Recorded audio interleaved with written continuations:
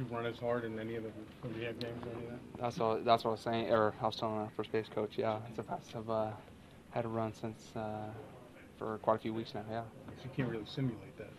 Yeah, it- I mean it's tough to simulate game speed. Um, you know, even even though you know a lot of times you know we set up scenarios where I was doing that, but yeah, until you get in the game, um, you know it's a it, it is a different speed. So does that tell you that, you know, you're okay? Well, I was happy with uh, how it went today. Um, you know, uh, yeah, definitely pleased. Um, you know, uh, definitely gonna sleep good tonight, knowing uh, you know got through the game and um, you know got through it. Do you get anxious at all, wondering how you're going to feel tomorrow, or are you past that point? Um, uh, you know, I'm sure I'll be a little sore tomorrow, um, but you know that's the kind of season you know usually sore, pretty much the whole season. So, um, uh, you know, I don't know what the lineup's going to be yet, but uh, mentally, um, you know, prepared to be in there uh, tomorrow. But you know, we'll see. Uh, you know what they say.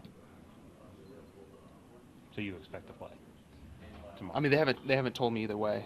Um, so, but mentally, you know, um, I'm gonna go to bed tonight, wake up in the morning, um, you know, preparing to play. Um, you know, so you know, it's the instead of the other way around. Right.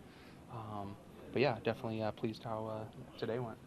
They went for us. Do you feel like the like six, seven weeks or so that uh, that you've been out, that it was a, a cautious approach to um, you know getting back, or Yeah, I mean, you know, when when they have me back, you know, they want me, you know, do you know doing things that I'm accustomed to doing, you know, instead of uh, you know playing real tentative and um, you know, for example, beating out that ball, you know, today. Uh, but yeah, I mean, the knees are you know a tricky thing. Um, but uh, you know, I'm happy with you know how the process went.